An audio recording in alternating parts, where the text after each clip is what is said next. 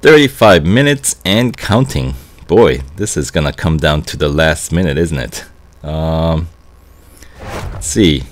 The instruction says uh, either you can tailgate second place for 25 seconds and come in third or just win. Um, considering the amount of time that we have left, you know what, I'm gonna hire Eric and go for the win here. They didn't mention anything about, um, you know, having to stay on track the whole time, so if I'm allowed to cut corners and whatnot, I don't think this would be too much of a challenge here.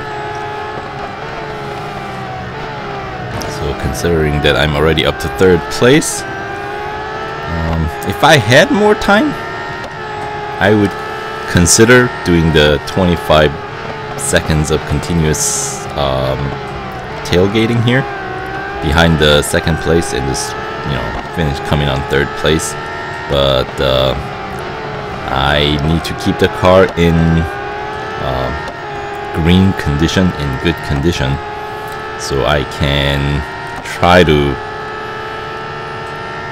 complete this series before the timer expires. So, alright, I'm gonna have to cut across the chicane there so I can get right behind Zoe and could I pit her? No, maybe not. but uh, coming in second place this close to Zoe I should be able to overtake Zoe fairly easily in the lap 2 so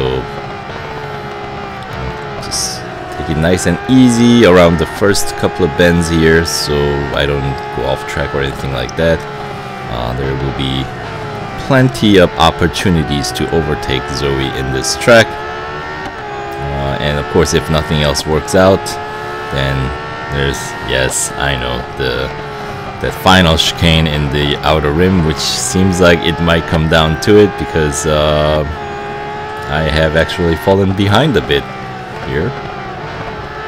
So that's a pretty decent break into the uh, one of the more important sections of this track, which is heading into the obviously the faster part of the track, the outer rim.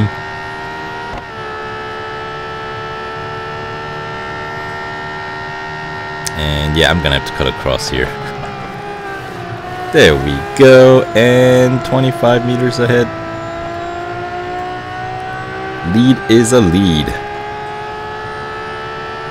There we go. Now once the uh, once you're in the front, it's not too bad. So